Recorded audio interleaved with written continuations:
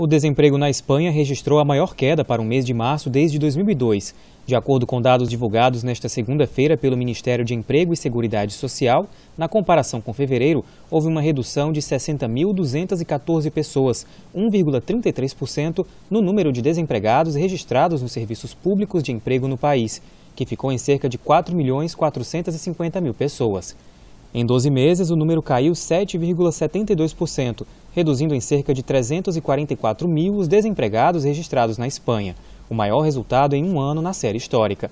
A queda foi percebida em todos os setores da economia, mas em maior proporção nos serviços, na construção civil, na indústria e na agricultura nessa ordem. Por outro lado, mais de 160 mil pessoas aderiram à Previdência Social, um aumento de quase 1% em relação ao mês de fevereiro, o melhor resultado para o mês de março desde o início do acompanhamento dos dados.